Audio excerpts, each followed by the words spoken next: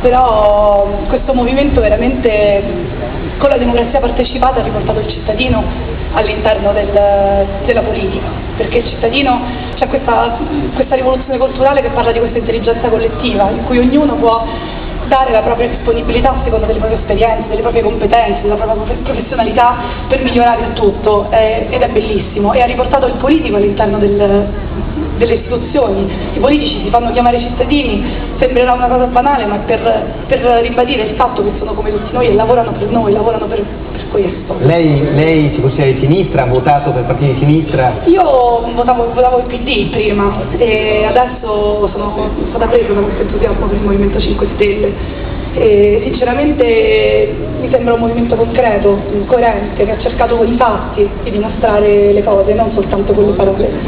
E... Cioè, la cosa che mi pare capire è che lei non sente il Movimento 5 Stelle come il movimento di Beppe Grillo e basta, cioè ha sentito qualcosa di diverso a Genova? Sì, sì ho sentito qualcosa di diverso.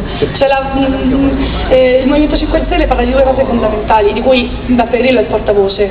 Prima di tutto bisogna mh, parlare di solidarietà, per uscire da questa crisi bisogna parlare di solidarietà. E poi sono le idee che contano, sono le idee che ci faranno uscire da questa crisi. Il reddito di cittadinanza che loro propongono è un'idea di solidarietà, non possiamo lasciare 8 milioni di persone povere a morire di fame, lo Stato ci deve aiutare. Oggi i cittadini sentono uno Stato che è contro, che non è, non è a, fianco, a fianco a loro. E i giovani se ne vanno, se ne vanno, non c'è meritocrazia, in questo paese non c'è meritocrazia, vogliamo fare qualche cosa perché i giovani pensino che riusciranno a ottenere qualcosa nella vita grazie a quello che fanno, grazie a quello che sono, grazie ai loro valori, non grazie al potente di turno che gli darà una raccomandazione, vogliamo dare loro questo segnale.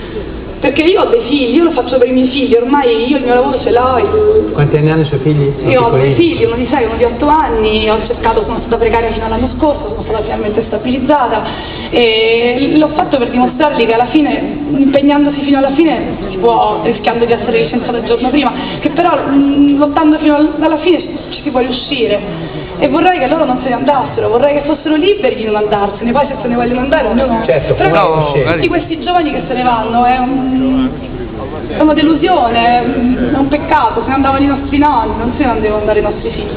Grazie.